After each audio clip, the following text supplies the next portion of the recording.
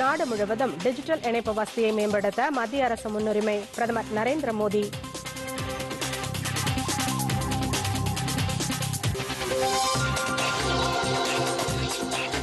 சர்வதேச வரி விதிப்பு நடைமுறைகளை எளிதாக்கி உள்கட்டமைப்பு துறைகளில் முதலீட்டை அதிகரிக்க வேண்டும். நிதியமைச்சர் நிர்மலா சீதாராமன் வலியுறுத்தல்.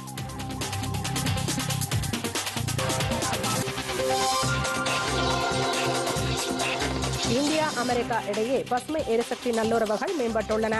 மத்திய அமைச்சர் ஹர்தீப் சிங் பூரி தகவல்.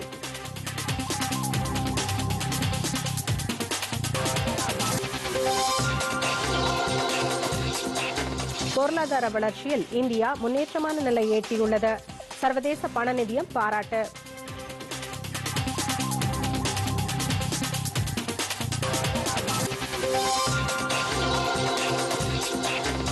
ஐஎஸ்எஸ்எஃப் உலக துப்பாக்கி சுடுதல் சாம்பியன் போட்டி தொடக்க நாளில் இந்திய மகளிர் அணி வெண்கலப் பதக்கம் வென்றது.